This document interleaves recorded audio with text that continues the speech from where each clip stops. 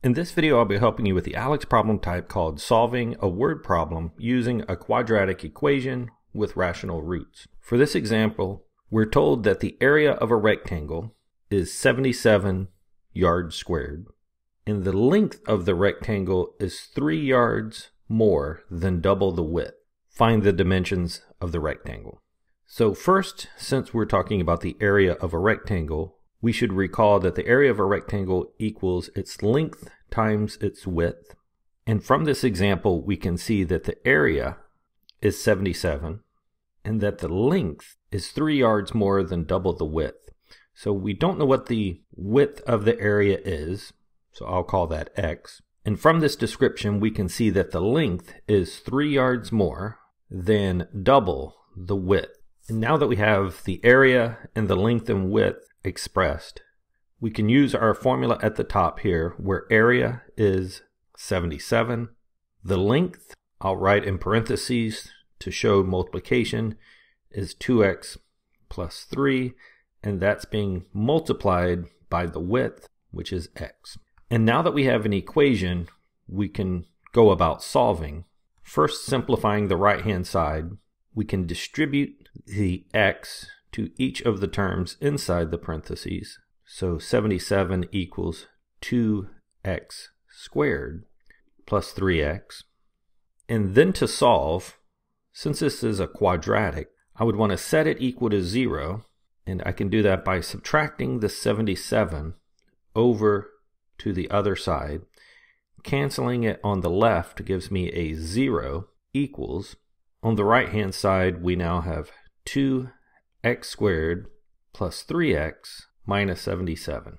Having a quadratic equal to 0, we can now solve by first factoring the quadratic. So 0 on the left-hand side.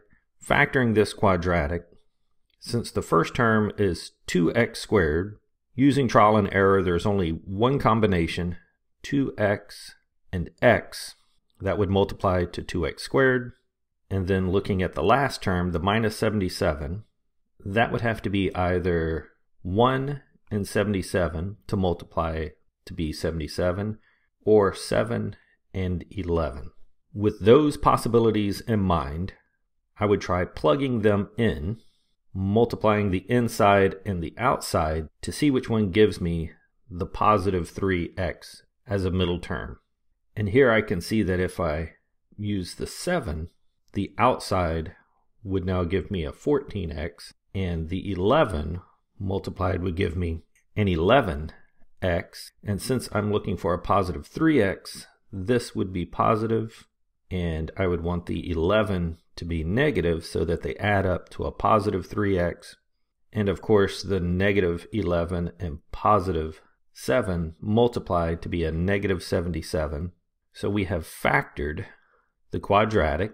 And since we have two terms being multiplied with the result of 0, that means that either the first term, 2x minus 11, must be 0, or the second term, x plus 7, must be 0, in order to multiply and have a result of 0.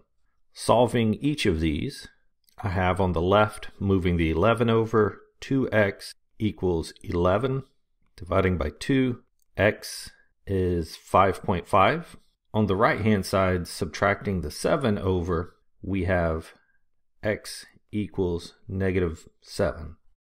So we have two possible solutions.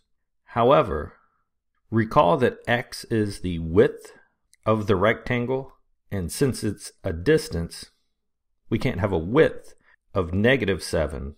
So our width here would have to be